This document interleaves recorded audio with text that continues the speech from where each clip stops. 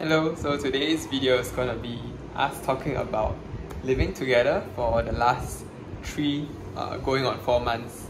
Uh, some of our thoughts and also to show some of the very good household appliances that we have.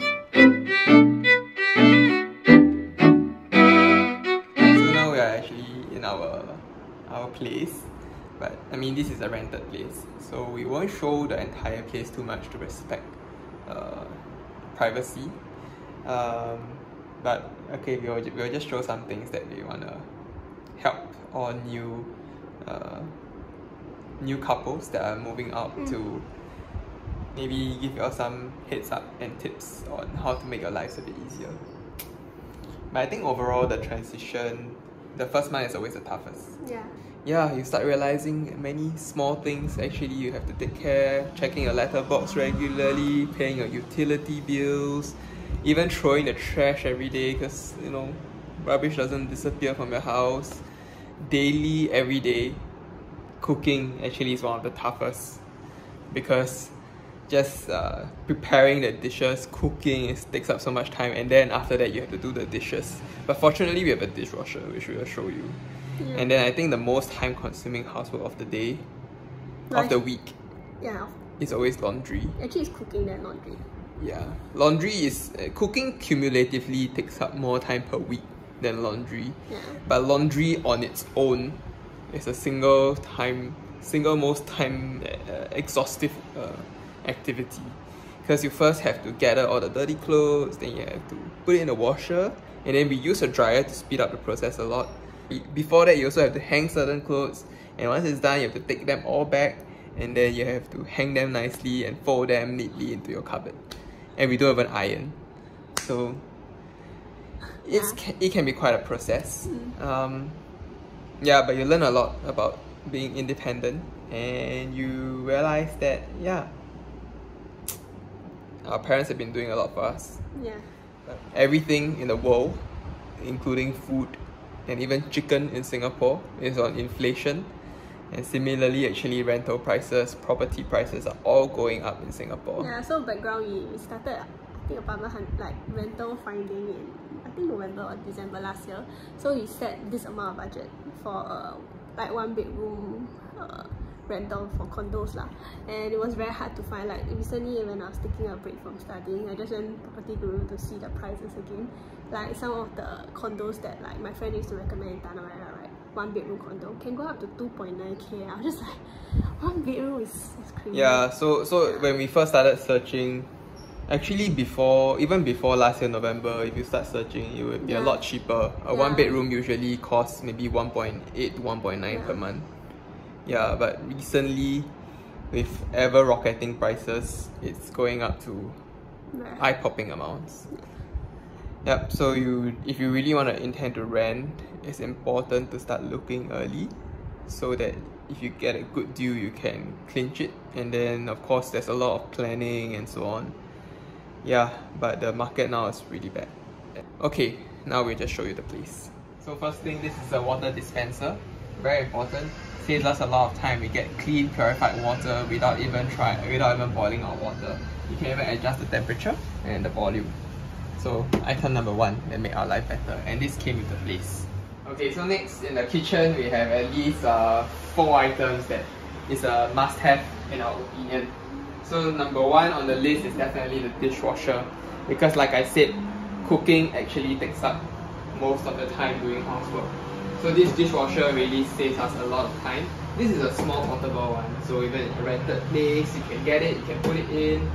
Uh, it's a Toshiba dishwasher. I'm sure you can search online and you can find the exact model number. Yeah, but it can even wash vegetables for you. And there's this function called rapid 29 minutes minutes wash, which is what we use most of the time.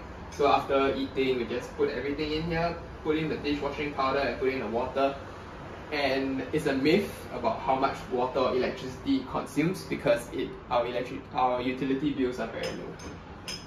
So number one, to save your time washing dishes, you should get that. Number two, probably, is this air fryer.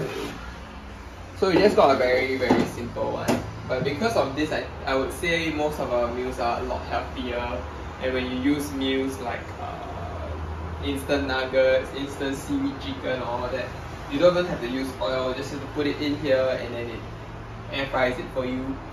It really makes it uh, a lot healthier and faster to cook because you don't even have to wash much, you just to clean the inside, you don't have to use oil, all this, very messy. So this is a Mayer air fryer. We probably got this for about 70 80 dollars. This was about 400 dollars. This one is about 100 dollars. We didn't buy this online, we bought it from NTUC. It's a Tefal multi-cooker. So these things, you know, there's this Ninja multi-cooker nowadays. Uh, a lot of these multi-cookers. So the good thing about this is that you can steam rice. You know, you can uh, take this out and then you can put, put the steaming tray in, I think. So No, no, no. Put the steaming tray inside the rice thing, yes. Okay, yeah, I've not done it. yeah, so you can put it in, you can steam things, and you can even pressure cook your soup, but we, we are not very intense uh, cook, cookers, so we just at most use it to make our chawanmushi. Yeah, if you really want, you can make very good soup with this, uh, probably half the time without a pressure cooker. And I would say this is number four, but we didn't buy this. Uh, probably you can get a microwave for one, two hundred dollars, you know. Yeah, but it's a must-have also because many things you just microwave and heat it up. This is one item we would definitely like to point out. Do you agree? Yeah. This is uh, probably one of our best purchases. So this is a Dyson Omniglide.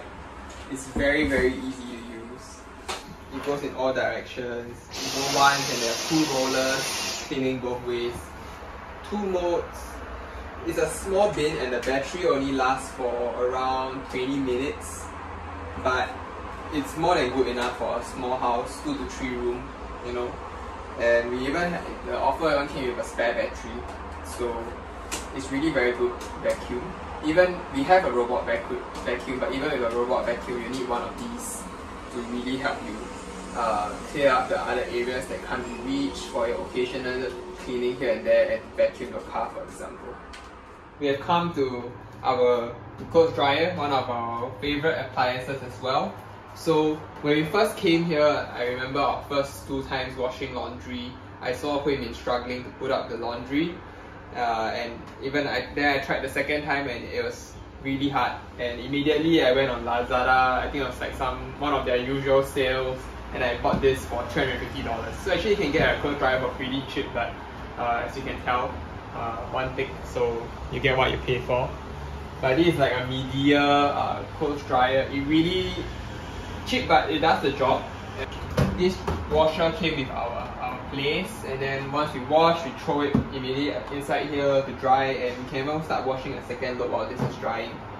So it really speeds up the process of washing a lot and makes it a lot uh, less of a struggle to try to hang our clothes every single time.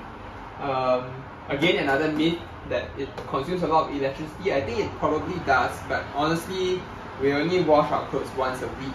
If there's only two of you living in the house, you shouldn't have to wash more than that. And when we combine our huge load, wash it at once, four times a month, our electric electric bills are really still very low. So we strongly recommend this. Is the last item that we want to share. This is a Deebot T9 Plus, if I'm not wrong. And it's actually the most expensive appliance we bought for a new place. Cost about 800 I think, or slightly less than 800, 750. Yeah, but the good thing about this is that it both vacuums and it mops, and uh, it has some high-tech LiDAR navigation system, which clearly we're not very impressed with. A normal one works just fine. But the auto empty bin is what I wanted because uh, this bin, it says that you have to empty it once a month, but in our use, we only empty it once every three months. So every time, you know, the problem with a robot vacuum is that after it vacuums, you have to empty the bin, if not it'll be full and so on. But with this one, it empties for you, and you only have to empty this bin once every three months. The thing that we have to do is just fill the water here every three days in the tank. Yeah, and then maybe the mopping pad change once a month. Yeah, we don't really follow everything the manufacturer says because uh, you know part of it is probably just them trying to get you to buy more of their products. And uh, I think the good thing about this is that you can schedule it. So we clean our house 135 and then uh, because it does clean most of the areas that we use like a living area, dining area and our room, we only have to vacuum the, the and sweep the balcony and the kitchen very occasionally. Saves us a lot of time and we only use our Dyson for occasional deep cleaning or to clean up the areas that are missed. So it makes our cleaning work a lot lesser. And we hardly ever mop because this really does most of the mopping. So with that, I think we have shared a total of eight devices yeah, that we have used and strongly recommend to help you if you're moving to a new place and living on own. We'll see you at the next vlog.